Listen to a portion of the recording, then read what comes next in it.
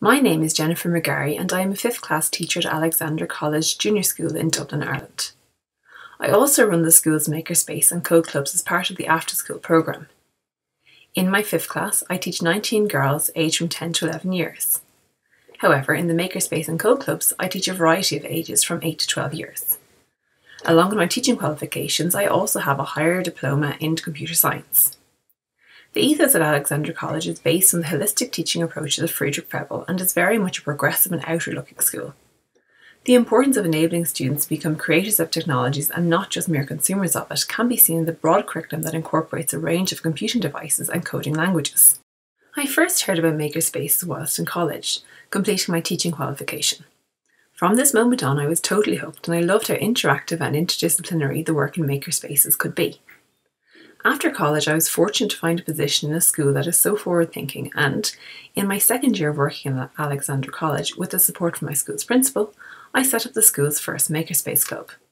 I set up the club as it gave me even more flexibility to explore a STEAM integrated framework of education, and I felt that my students would really respond well to this. STEAM stands for Science, Technology, Engineering, Art, and Maths. Currently, the Makerspace is located in one room that is used by my fifth class and then also by the after school Makerspace Club students. I manage the Makerspace and I am responsible for keeping it stocked or ordering any equipment that it might need. The room the Makerspace is in is quite large, has a dedicated corner for supplies and safekeeping of devices and other tech equipment such as laptops and hot glue guns. It is not open outside of school hours. The Makerspace is very much in its infancy and there are plans to scale it up in the coming academic year. In this lesson, the students are beginning to work on the final stage of their collaborative board game project by making the physical board game and coding the relevant pieces. Prior to this lesson, the students have become familiar with a microprogramming board and a block-based coding environment. They learned about some coding concepts, loops and if statements, through coding flashing LEDs and decoding a working dice. Along with their coding classes, they also worked on the procedural writing genre in English and wrote rules for their board game and instructions on how to use the dice that they had programmed. Such a collaborative project takes a little bit from each subject and it also requires students to have strong teamwork skills, a growth mindset, and flexible habits. My role as a teacher facilitator in a makerspace is to help the students achieve success by providing them with the relevant tools and information so that they can then create something new and unique to express their learning through. The beauty of a makerspace is that it very much allows for the students' personal interests and prior knowledge to shine through.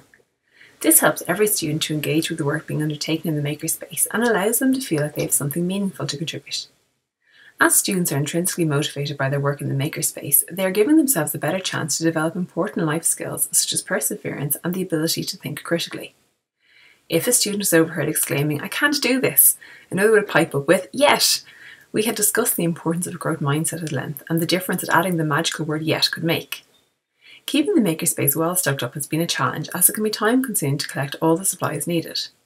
The projects within the makerspace class can also be time consuming to complete, and this can pose a problem if you have a timetable to keep to. Going forward into the next academic year, Alexandra College plans on having a dedicated space and daily timetable for makerspace activities. This will apply to the whole school and is a great opportunity to develop the use of technologies through interdisciplinary, collaborative efforts with other teachers. The setup of a makerspace in our school has been very successful overall. The feedback from the pupils has been overwhelmingly positive, and there is always a great demand for places in the after school makerspace club. The makerspace has also benefited our school and pupils through the opportunity to take part in projects such as this one with the Interactive Classroom Working Group of European Schoolnet and other collaborations with external partners in Ireland. Such collaborations help the pupils to be part of something bigger and allows them to see how their learning is relevant to the wider world.